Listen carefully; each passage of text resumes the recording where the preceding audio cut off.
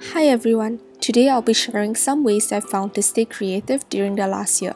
It was quite demotivating to me at first, but eventually I figured I had to keep creative, if not, my life would probably have become really, really dull.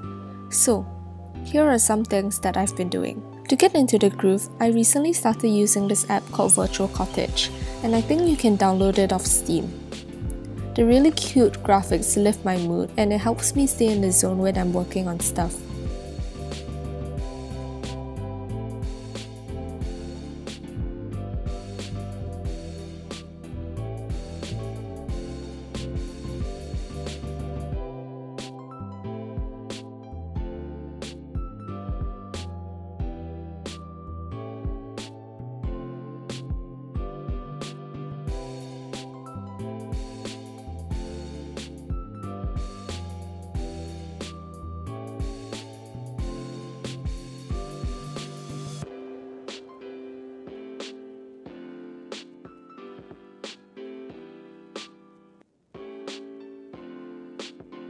Recently, I started keeping a diary. It's one of those habits that really, really, really gets you writing, and it helps me process day to day events and feelings.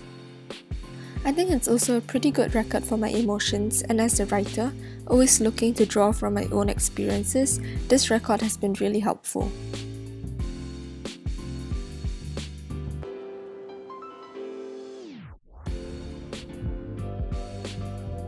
Online courses are something I've been finding really rewarding. I use edX because the courses are free. I just signed up for one on Hong Kong cinema.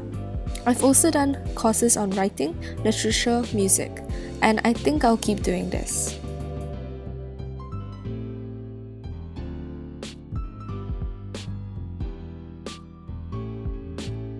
I've been doing random drawings and comics lately, so here's me putting the finishing touches on my first comic.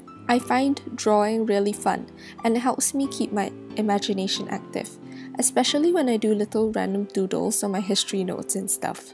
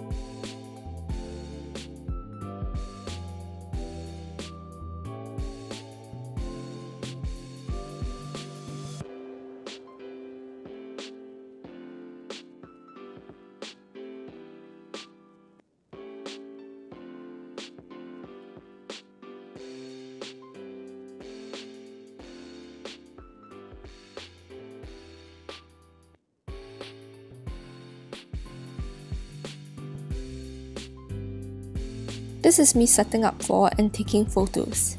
I think photography is such a cool way of expressing your worldview, and I'm glad I tried it out.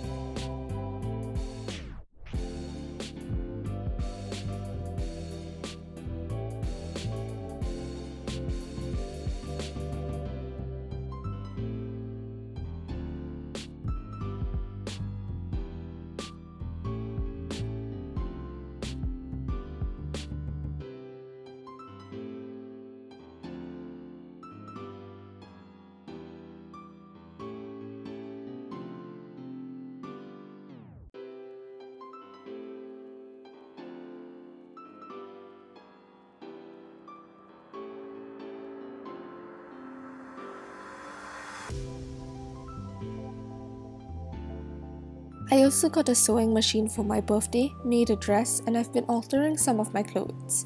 It's been really fun updating my wardrobe on my own, and though lately I haven't had as much time to do this, I'll be taking advantage of my school holidays to try and do something cool with the cloth my aunt sent me. Of course, I've also been reading, watching, and writing, seeing how other people tell stories. That's the ultimate motivator for me creatively.